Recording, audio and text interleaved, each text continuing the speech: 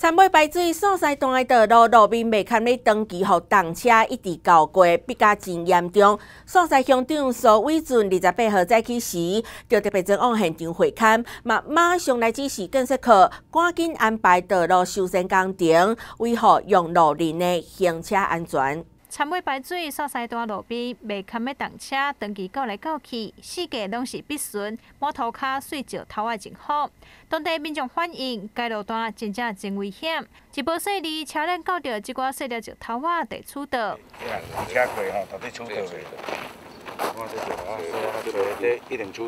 诶，那么诶，今仔咱伫田尾排水吼，咱德兴到顶庄这个区段吼，啊来现场来回看。那么田尾排水旁边的道路吼，是属于水防道路。那么今仔日吼，大家现场会看有路面破坏很严重的情情况。啊，这条路吼，拢有真侪挡车伫咧行，所以路面破坏吼会比较频繁，而且比较严重。那么咱现场来看吼，确实有立即性的危险。那么先由咱公所吼啊这边来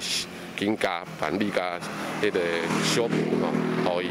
会当较完整啊，伫迄道路会会当互较平坦吼，咱乡亲伫咧使用道路上吼会当较安全。沙西乡长苏伟俊二十八号上午也特别前往该路段视察道路情况，认为真正有马上改善的必要，马上指示建设科爱马上来修复这段路边，希望互乡亲有一个安全舒适的用路环境。台中华新闻叶宏武沙西采访报道。